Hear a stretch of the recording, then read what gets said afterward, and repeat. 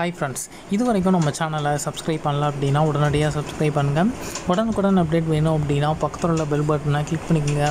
இன்றைக்கி நம்ம பார்க்க போகிற லேட்டஸ்ட் நியூஸ் என்ன அப்படின்னு பார்த்தீங்கன்னா வனிதா விரைவில் கைது செய்யப்படுவார் என லட்சுமி ராமகிருஷ்ணன் ஒரு போட்ட ஒரு ட்விட்டால் இப்போது அதிர்வலையை ஏற்படுத்தியிருக்கு. அதை பற்றி நம்ம இந்த வீடியோவில் பார்த்துடலாம். வனிதா மற்றும் பீட்டர் பால் இவங்களுடைய திருமணம் கடந்த ஜூன் மாதம் நடைபெற்றது. இவங்களுடைய திருமணம் நடந்த அடுத்த நாள்லேருந்து நிறைய பிரபலங்கள் வனிதாவுக்கு எதிராக குரல் கொடுக்க ஆரம்பித்தாங்க இந்த திருமணம் சட்டப்படி செல்லாது அப்படிங்கிற ஒரு விஷயத்தை தான் எல்லாருமே முன் வச்சாங்க. இருந்தாலும் தன்னை பேச வந்த எல்லாத்தையுமே லெஃப்ட் ரைட் வாங்கி எல்லாத்தையுமே ஓட விட்டுட்டாங்க அப்படின்னு தான் சொல்லணும். ஆனால் இப்போது ரெண்டு நாளுக்கு முன்னாடி கோவாவில் ஏற்பட்ட ஒரு சின்ன பிரச்சனையின் காரணமாக வனிதா மற்றும் பீட்டர் பால் ரெண்டு பேரும் பிரேக்கப் ஆயிட்டாங்க. இந்த விஷயம் தான் இப்போது சோஷியல் மீடியாவில் ட்ரெண்டிங்காக போக ஆரம்பிச்சிருக்கு. அது மட்டும் இல்லாமல் வனிதாவுக்கு எதிராக யாரெல்லாம் பேசினாங்களோ இப்போது மறுபடியும் அவங்களாம் பேச ஆரம்பிச்சிருக்காங்க. தயாரிப்பாளர் ரவீந்திரன் அவர்கள் தான் இந்த பிரேக்கப்பை கன்ஃபார்ம் பண்ணார். அடுத்து கஸ்தூரி மேமும் இந்த விஷயத்தில் வந்து பேச ஆரம்பித்தாங்க சூர்யா தேவியும் விட்டு வைக்கல. அவங்களும் கழுவி கழுவி ஊற்றிட்டாங்க இப்போ வனிதா மற்றும் பீட்டர் பால் இந்த விஷயத்தில் அதிகமாக அசிங்கப்பட்டது லட்சுமி ராமகிருஷ்ணன் மேம் மட்டும்தான்.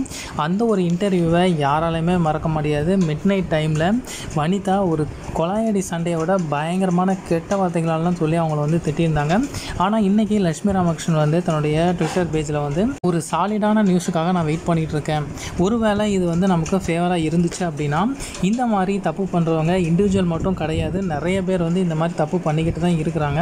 அவங்க எல்லாருக்குமே ஒரு பெரிய பாடமாக இருக்கும். இந்த ஒரு தருணத்திற்காக நாம் வெயிட் பண்ணி தான் ஆகணும் அப்படிங்கிற மாதிரி ஒரு சர்ப்ரைஸான ஒரு ட்விட் வந்து போட்டிருக்காங்க.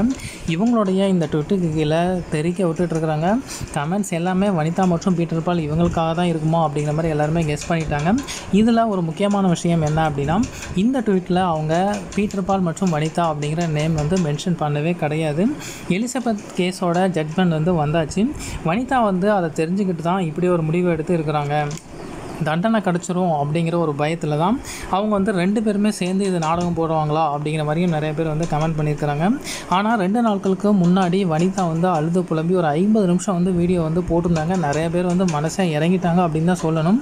அந்த வீடியோவில் அவங்க ரொம்ப பெருசாக மென்ஷன் பண்ண ஒரு விஷயம் என்ன அப்படின்னா எங்களுக்கு கல்யாணம் எதுவுமே ஆகலை என்கேஜ்மெண்ட் மட்டும்தான் ஆச்சு அப்படிங்கிற மாதிரி சொல்லியிருந்தாங்க. ஸோ கல்யாணம் ஆகலை அப்படின்னா எதுக்கு முத்த காட்சி சம்மந்தமான புகைப்படங்கள்லாம் அவங்க வந்து பதிவு பண்ணாங்க? நிறைய இடத்துக்கு நிறைய சேனலுக்கு போய் அவங்க கப்பல் இன்டர்வியூலாம் அவங்க வந்து கொடுத்துருந்தாங்க. நெத்தியில் மாங்கல்ய பொட்டுலாம் வச்சுருந்தாங்க. அந்தரங்க புகைப்படங்கள் சொல்லவே வேணாம். எக்கச்சக்க புகைப்படங்களை வந்து அவங்க பதிவு பண்ணியிருக்கிறாங்க. அப்போ வந்து கல்யாணம் கல்யாணம் அப்படின்னு சொல்லிட்டு இப்போது பிரச்சனை வந்து பெருசானதுனால இப்போ வந்து எங்களுக்கு கல்யாணமே ஆகலை அப்படிங்கிற ஒரு பொய்யை வந்து அவங்க வந்து சொல்லிட்டு இருக்கிறாங்க எல்லா ஆதாரங்களும் வனிதாவுக்கு எதிராக ஸ்ட்ராங்காக இருக்குது அந்த ஒரு காரணத்தினால ரெண்டு பேருமே பேசி வச்சுக்கிட்டு இப்படி ஒரு நாடகத்தை வந்து அவங்க வந்து கிரியேட் பண்ணியிருக்கிறாங்க. இந்த விஷயத்தில் பீட்டர் பால் வெளில வந்து ஏதாச்சும் ஒரு வீடியோ வந்து போட்டார் அப்படின்னா கண்டிப்பாக நம்ம நம்பலாம். அது வரைக்கும் கண்டிப்பாக இந்த விஷயத்தை நம்பவே முடியாது. இருந்தாலும் லட்சுமி ராமகிருஷ்ணன் மேம் வந்து எந்த ஒரு சாலிட் நியூஸ்க்காக வெயிட் பண்ணிட்டு அப்படிங்கிறது கிளியராக தெரியல. பொறுத்திருந்து பார்க்கலாம்.